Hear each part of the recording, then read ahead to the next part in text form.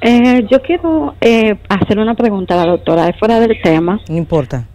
Pero eh, quiero saber, ¿por qué después de una separación, siendo algo que pasó en buenos términos, una persona después de dos años y pico puede hablar peste de quien fue su esposa por 25 años?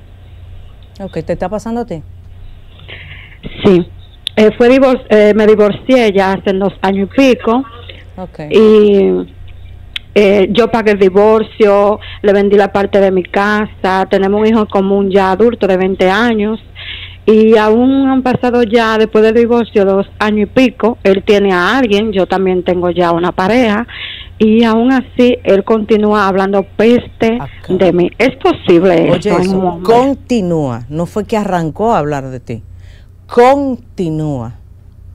Entonces, fíjate, no le dé tanta importancia a lo que él esté diciendo o no esté diciendo de ti, porque eso lo único que refleja es que no te ha superado.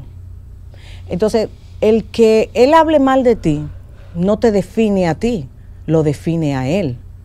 Entonces, tú lo que tienes que centrarte en tu vida y seguir adelante. Ahora bien, aquella persona que viene a contarte, tú tienes que frenarlo, porque no es amigo tuyo. Porque el que es amigo tuyo, lo que va a hacer es echarle agua al vino. Me explico. El que es amigo tuyo no va a venir a contarte esa basura, porque ¿qué gana? Entonces, cuando vengan a decirte, tú, lo vas a frenar, le vas a decir, ¿en qué me beneficia a mí lo que tú me estás contando? No me beneficia en nada. Entonces, a mí no me hable nada de esta persona. Yo le deseo todo el bien del mundo. Por favor, no me hablen de esa persona. No le permitas a nadie que llene tu cabeza de esa basura. ¿Oíste?